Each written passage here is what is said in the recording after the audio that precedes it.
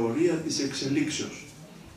Είναι η θεωρία του Δαρβίνου, η γνωστή θεωρία, την οποία δεν ξέρω αν ο ίδιος ο Δαρβίνος ξεκίνησε αθεϊστικά, πάντως αυτοί που την εκμεταλλεύτηκαν μετά τη θεωρία του, την οδήγησαν σε αθεϊστικό δρόμο, προσπαθώντας να πούν ότι τα όντα, τα διάφορα όντα που βλέπουμε γύρω μας, εξελίχθηκαν από κατώτερες μορφές σε μια ανώτερη μορφή και ότι δεν υπάρχει Θεός, δεν υπάρχει τίποτα, είναι μια φύσης, είναι φυσικά φαινόμενα, είναι μια φυσική επιλογή, τέτοια πράγματα λένε.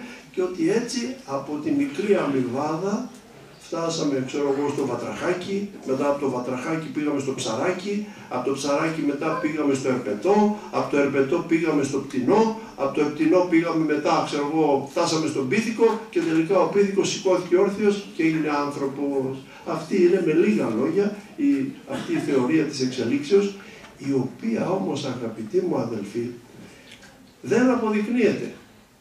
Είναι μια ωραία θεωρία όπως το λέει η λέξη, θεωρία και τίποτα άλλο. Μια φιλοσοφία, μια πίστη δηλαδή ορισμένων, οι οποίοι την έντυσαν κάπως επιστημονικό μανδύα για να την παρουσιάσουν σαν πιστευτή. Και ενώ ξέρουμε ότι της επιστήμης τα εργαλεία είναι η παρατήρηση, είναι το πείραμα και ο μαθηματικός λογισμός με τον οποίο επιβεβαιώνει και σταθεροποιεί και αποκρισταλώνει τα πορίσματά της η επιστήμη. Ε, ετούτη η θεωρία δεν έχει ούτε παρατήρηση, ούτε πείραμα, ούτε μαθηματικό λογισμό. Έχει μια ωραία θεωρία, ένα ωραίο παραμύθι και πολύ ωραίες ζωγραφιές. Δέστε σε βιβλία της βιολογίας, ξέρω εγώ, της, ε, ε, τα σχολικά, δέστε σε εγκυκλοπαίδειες ωραίες ζωγραφιές.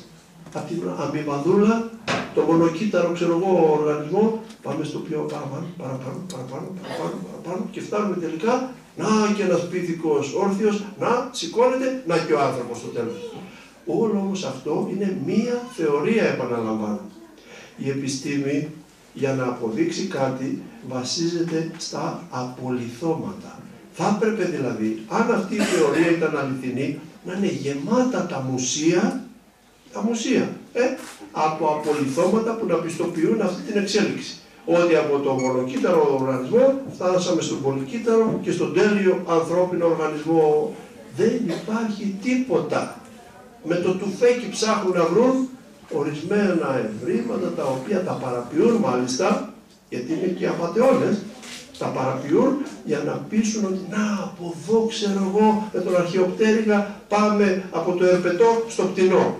Τίποτα.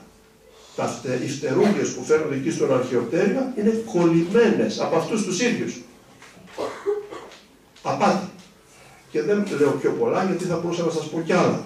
Τι θάψανε οι αγώνες ε, χείρου και του βάλανε δόντι ανθρώπου για να πούν να εδώ πέρα ζώο έχει ανθρώπινο δόντι, ξέρω εγώ για να πείσουν τους ανθρώπους ότι τάχα υπάρχει εξέλιξη. Δεν υπάρχει τίποτα. Ενώ όμως η θεωρία αυτή της εξελίξεως των όντων δεν αληθεύει και δεν ισχύει, ισχύει αδελφοί μου μια άλλη εξέλιξη. Είναι η πνευματική εξέλιξη του ανθρώπου. Σωματικά δεν ισχύει αυτό. Ο Θεός έπλασε τα όντα όπως τα έπλασε. Το ζώο, ζώο, τον άνθρωπο, άνθρωπο, το πτηνό, πτηνό. Έτσι, έτσι τα έπλασε ο Θεός. Το σχέδιό του και η πανσοφία του έτσι τα έπλασε. Πνευματικά όμως έδωσε ο Θεός τη δυνατότητα στον κάθε άνθρωπο να εξελιχθεί.